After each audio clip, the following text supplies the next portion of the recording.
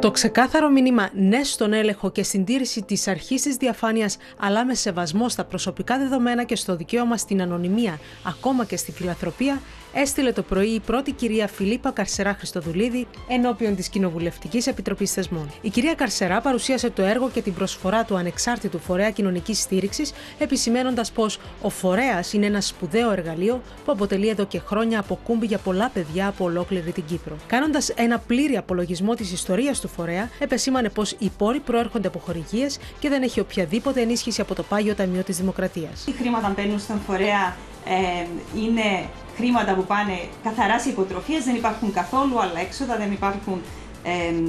διαρροές ε, σε αυτά ε, που δίνονται για τα παιδιά μας. Όπως διευκρίνησε η κυρία Καρσερά, φέτος για πρώτη φορά τα αυξημένα έσοδα επέτρεψαν τη δημιουργία κατηγορίας δικαιούχων που δεν θα υπόκεινται σε κανένα εισοδηματικό ή περιουσιακό κριτήριο. Με ενδιέφερε ιδιαίτερα αυτό το κομμάτι της διαφάνειας και της λογοδοσίας και μόνο εφόσον ένιωσα ασφάλεια ως προς τους επαρκείς ελέγχους, ξεκίνησα δράση για νέες χορηγίες. Η κυρία Καρσερά ξεκαθάρισε πως πέραν του ότι οι εισφορές γίνονται με εμβάσματα στην κεντρική τράπεζα που ελέγχει βεβαίως και την πηγή τους, ο Ταμείας είναι ο γενικός λογιστής, η ετήσιες οικονομικές καταστάσεις του φορέα υπόκεινται σε έλεγχο από το Γενικό Ελεκτή, ο οποίος μπορεί να ελέγξει και το Μητρό, το οποίο βεβαίως και τηρείται σεβόμενο την αρχή της εμπιστευτικότητας. Ξεκάθαρο ήταν το μήνυμα της κυρίας Καρσερά και σε σχέση με τα παιδιά που υποφελούνται από την ενίσχυση των οικονομικών δυνατοτήτων του φορέα, αλλά και για τη συζήτηση περιτήρηση εκ μέρους του φορέα Μητρώου και ανάρτησης καταλόγου στην ιστοσελίδα του σε σχέση με τους πόρους του. Είμαι σίγουρη ότι μοιραζόμαστε όλοι τον ίδιο στόχο και θα προσπαθήσουμε